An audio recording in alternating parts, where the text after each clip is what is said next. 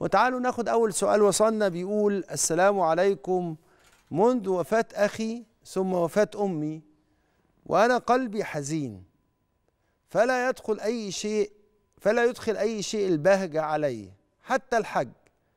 فذهبت للحج هذا العام ودعوت الله كثيرا أن يغسل ويزيل الحزن من قلبي ولكن حزن قلبي زاد فكيف نفسر ذلك وكيف أغسل الحزن من قلبي؟ ده شيء سؤال مهم قوي وبيحصل أوقات كثيرة جدا جدا. ساعات بيصيب الناس حاجة معروفة كده في علم النفس حاجة اسمها الحزن العميق. الحزن شديد الأسى. ويبقى الحزن دوت بيجي عند الإنسان في أوقات كتيرة وليه أسباب متعددة. يعني لو الحزن اللي إحنا عندنا ده لو نظرنا إلى السبب اللي فيه وليه أنا مفيش حاجة بتدخل البهجة في قلبي لأن أنا بحس إن الحياة انتهت. إن مصادر إن مصدر الأمان ومصدر الفرحة ذهبت من حياتي.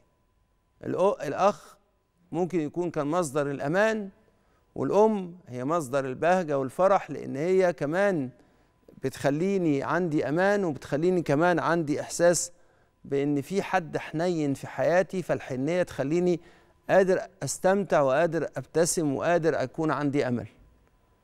فلما فقدت الاتنين دول ما بقاش عندي قدرة على الابتسامة والفرح ليه طيب؟ لأن مصدر الأمان ومصدر البهجة زالوا من حياتي. الكلام ده يمكن إن إحنا نفهمه ونقبله لو كانت الحياة بصنع إيد الناس. لكن الله سبحانه وتعالى خالق كل شيء. يعني الحياة بالناس اللي فيها بالناس اللي عايشينها كلها بيد الله.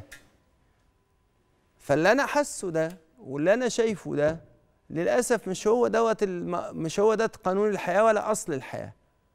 ده لا قانون الحياة ولا أصل الحياة. أصل الحياة إن الحياة ملك الله. ومحدش كان مالك الفرحة بتاعتي. ومحدش كان قادر على إنه يفرحني. ده ربنا جعل هؤلاء الناس أسباب. ولذلك النتائج اللي إحنا بنوصل لها زي البهجة مثلا ممكن ربنا يخلق البهجة بلا سبب. يعني يخليني أفرح بلا سبب. وياما حصل لنا كده. فإذا كنت بنسأل هي البهجة هتيجي منين لما أسبابها مش موجودة؟ ربنا ممكن يخلق البهجة من غير سبب.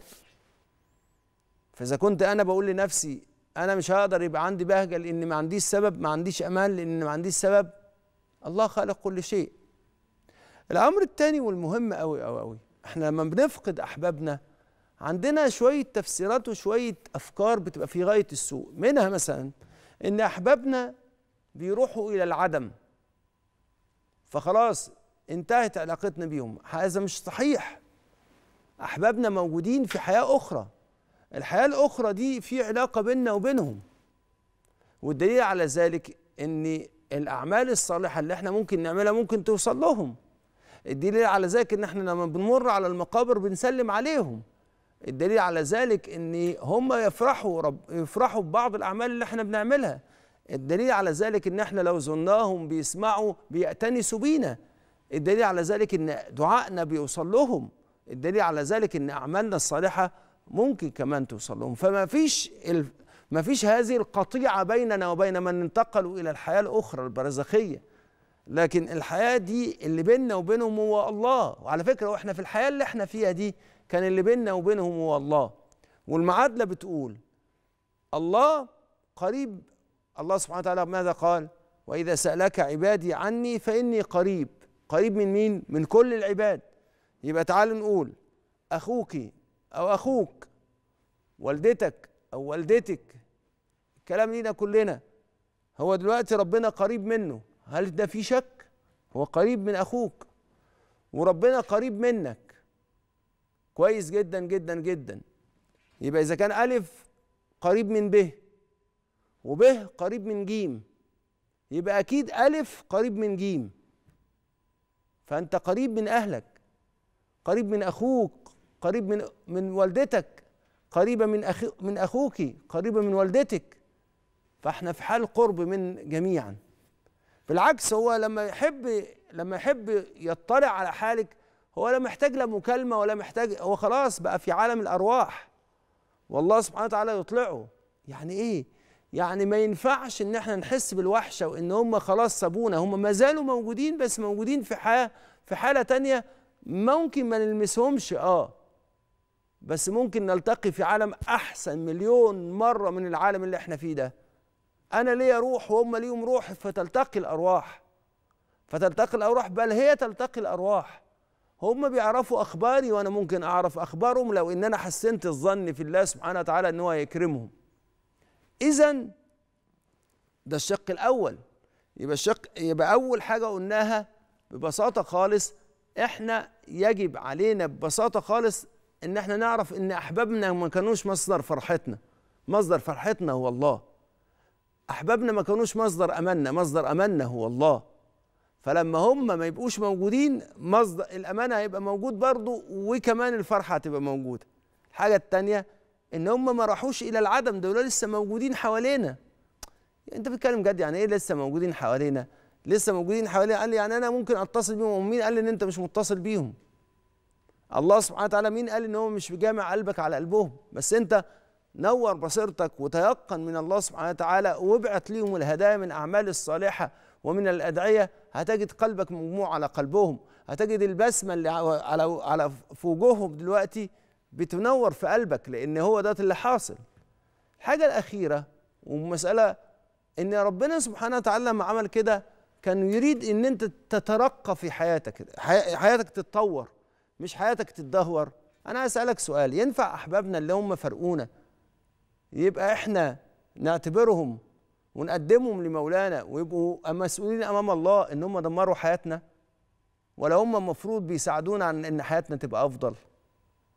أنت لو مخلص ومحب صادق لأحبابك الذين انتقلوا إلى الرفيق الأعلى لو أنت مخلص ليهم عيش بالقيم اللي هم علموها لك. عيش عيش بمحبتهم عيش بالدور اللي قاموا قاموا بيه في حياتك.